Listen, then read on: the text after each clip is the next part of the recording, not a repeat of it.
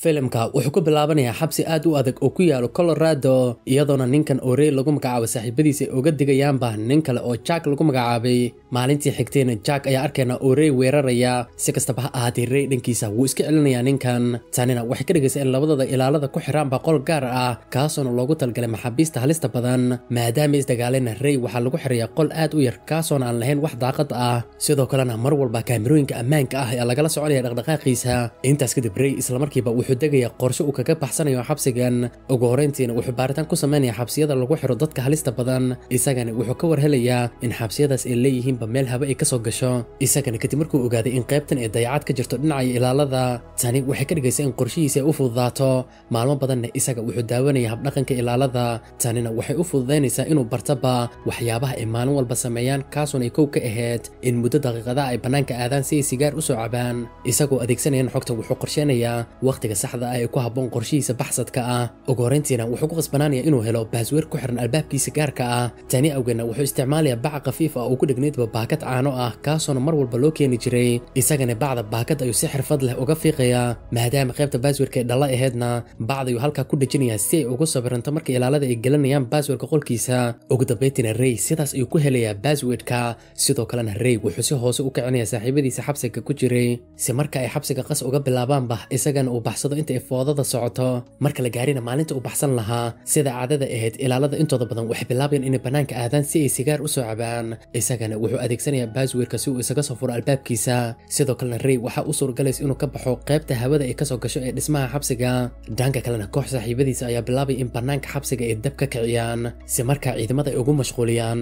Ciidamada islamarkii ay soo saareen gabaarida dabdemiska rey wuxuu hoosgelaya gaariga dabdemiska ee bannaanka aadayay ugu dambeyntiina kadib markii uu si dhammaystiran uga baxay xabsiga bannaanka waxaa ka kaxaynaya laba saaxiibadiisa ahayd kuwaasoona haash iyo abigeel lagu kala magacaabay. Rey intaa kadib wuxuu kaga deganayaa goobaha wicitaanka dadweynaha maadaama qof uu wacayna islamarkiiba booliiska ayaa ogaanaya halka uu joogo. Wayna qabanayaan intaa kadib si kastaba ha ahaatee ka hor intaysan dib ugu celin xabsiga halka waxaa imaanaya nin lester lagu magacaabo. Isaga ayaana la hadlaya saraakiisha isagoona u sheegaya in rey ay sii daayaan. Muuqaalka xigan waxaan arkaynaa rey iyo lester oo la hadlaya madaxa sare ee xabsiga. Ugu dambeyntiina halkan waxaan ogaanaynaa in rey uu yahayba maamulaha guud ee shirkad ka shaqaysa arrimaha amniga. Shaqada shirkaddan ayaana ahayd in keliya ay hubiyaan ammaanka xabsiyada. Rey ma uusan ahayn dembiile balse wuxuu ahaa ganacsade kaasoona gala xabsiyada. Si markaa u soo saaro meelaha uu daciifka ka yahay xabsiga ayna dhici kartaba in maxaabiista ay kaga baxsadaan. Ilaalada xabsiga aad i ula yaabayaan sida rey uga baxsada xabsigan aadka loo ilaaliyo. Intaas kadib madaxa xabsiga wuu uga mahad celinayaa maadaama ogaadayba meel uu xabsigan ka jelecsan yahay. Kadib kulankoodana rey markiisii ugu horreysay uu imaanaya xafiiskiisa guud ee shirkadiisa maadaama muddo shan bilood ah uu ka maqnaa. Isagana way wada salaamayaan dhammaan shaqaalihiisii ka shaqaynaya kambanigiisa saaxiibkiisa ganacsigana lester wuxuu u sheegayaa in kulan uu la leeyahayba jasika oo ka socota c i eda maraykanka. Jasika iyadana waxay doonaysay in loo hubiyaba ammaanka xabsi aad u adag oo mar dhow la furay. Sidoo kalena waxay u sheegaysaa in isaga iyo kambanigiisaba aysan ogaan dooninba halka uu ku yaalo xabsigaas. Jasika malaayiin dollar ayay u soo bandhigaysaa si uu uga soo baxsado xabsigaas. Saaxiibkiisa lesterna wuxuu isaga ku dhiirigelinaya in rey uu heshiiskan galo. Intaas kadibna rey waxaa loo sameynaya dhalasho been ah isagoona loo abuurayo dembigii ugu gali lahaa xabsiga. Marka la gaarina maalinta uu gali lahaa xabsiga. Saaxiibadiis waxay bilaabeen in qalab g p r s ay geliyaanba jirkiisa si marka ay u ogaadaanba halka xabsiga uu ku yaalo si kastaba ha ahaatee isaga koox kale ayaa afduumanaysa. Kooxdanna waxay bilaabayeen inay islamarkiiba ka saaraan qalabkii la socoshada ahaa ee jirkiisa la geliyey ugu dambeyntiina ayaga ayaa xabsiga geenaya isagoo miir daboolan. Rey markuu soo kacay wuxuu is arkaya isagoo ku dhex jira goob wada dhala ah kaasoona ay ku wareegsanayeen barag kale oo maxaabiis ahaa. Intaas kadib rey waxaa lala kalonsiinayaa hobis oo ahaa maamulaha guud ee xabsigan. Si kastaba ha ahaatee isaga wuu la yaabayaa maadaama marka hore loo sheegayba in xabsigan uu maamulo ka yahayba nin maarsha lagu magacaabay. Tani awgeedna rey islamarkiiba wuu dareemaya in wax ay qaldan yihiin. Ninka maamula xabsiganna isaga wuxuu ula dhaqmayaa si la mid ah maxaabiista kale ee xabsiga ku jira. Dhanka kale abigail iyo hash waxay samaynayaan wax walba ay ku ogaan karaanba halka rey uu joogo. Kusoo laaba xabsiga dhammaan ilaalada wejiyada ayaa u wada xirnaa. Sidoo kalena waa loo ogolaa inay garaacaanba qof walba ay rabaan. Intaas kadib mid ka mid ah maxaabiista rodmeya ay isbaranayaan rey rodmeya wuxuu u sheegayaa inuusan isaga geysanba wax dembi ah isagana laska soo xiray isagoo aan dembi geysanin. Rey dhankiisa wuxuu bilaabay inuu ninkan aamino hadalkiisa halkaas ayna labadooda ka bilaabayaan qorshahooda ka baxsashada xabsigan. Rey islamarkiiba baaritaan ay ku bilaabaya xabsiga labadoodana way isdagaalayaan si ay u ogaadaanba sida uu yahay qolalka maxaabiista halista ah lagu xiro. Si kastaba ha ahaatee labadooda waxaa lagu daarayaa iftiin aad u kulul kaasoona xitaa bini'aadamka uusan u dulqaadan karin ujeedka iftiinkan ayaan ahaa in maxaabiista loo looga dhigaba inay noqdaanba kuwo jirkooda daciif ah. Kadib markii maalin ku jireen ciqaabtan dhakhtarka xabsiga ayaa ugu imaanaya isagoona hubinaya caafimaadkooda. Nasiib xumar dhakhtarka uma jawaabayo kadib markii rey uu weydiiyey inuu u sheegaba halka saxda ay joogaanba hadda. Muddo badan kadibna labadooda waxaa laga soo saaray qolkii ay ku jireen. Rey inta uu ku jira qolkana wuxuu ogaanayaa in qaybta hoose ee qolka uu boolal ku arkayba sida awgeedna rodmer ayuu u dariyaa si uu u raadiyo beryar si uu qaybta hoose ugu furo. Maalintii xigtayna rodmer waxaa lala kulansiinaya maamulaha guud ee xabsiga kadib markii uu isaga dalbaday rodmeyer wuxuu bilaabay in si bareer ah uu ilaalada u kala tuuro. Tanina waxay ka dhigaysaa in rodmeyer ay biyo cabsiyaanba. Inta ay jirdilayeenna isaga waxaa u suurgalaysa in beryar oo halkaa taala uu helaba jeebka ayuuna intaa kadib gashanaya isagoo aan la dareemin.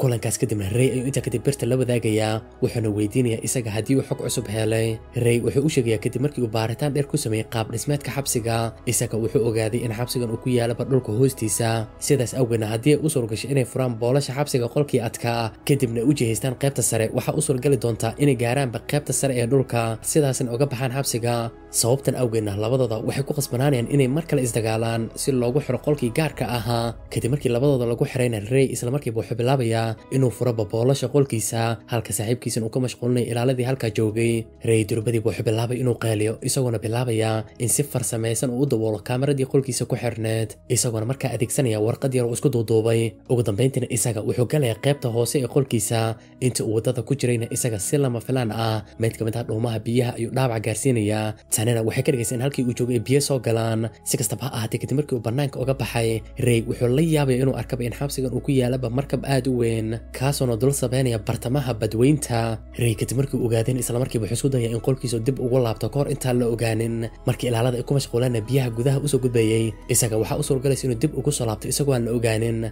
Dhanka kalena waxaan arkaynaa rey saaxiibadiisa oo lester weydiinaya halka rey uu ku sugan yahay maadaama uu isaga ogaa. Si kastaba ha ahaatee lester wuu ka diidayaa inuu u sheego wuxuuna u raacinayaa in rey uu ku jiro shaqadiisa.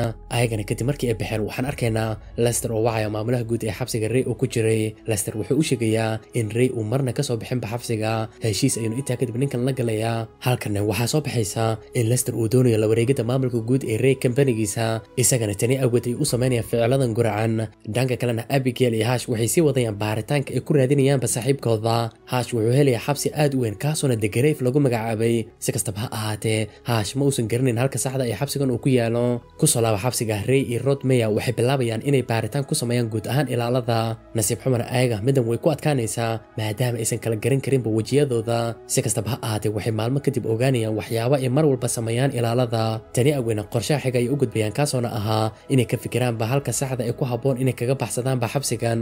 Ugu horeen rey dhakhtarka ayuu caawinaad weydiisanayaa. Si kastaba ha ahaatee diidmo ayuu kala kulmayaa. Intaas kadibna ninkan oo muslim ahaa jafedna lagu magacaabay caawinaad weydiisanayaan jafed maadaama xoogaa isku fiicnaayeen maamulaha guud ee xabsiga isaga wuxuu u soo ogaanaya isagoo qalab adeegsanaya halka saxda ah ee xabsigan uu ku yaalo ugu dambayntiina kooxdan saddexda waxay ogaanayaan inay joogaanba badweynta hindiya gaar ahaana waddanka morocco. Rodmeya wuxuu u sheegay in saaxiib uu morocco ku leeyahay kaasoona haddii uu baahdo caawin karaa rey intaa kadib dhakhtarka ayuu ka dhaadhicinaya qorshihiisa.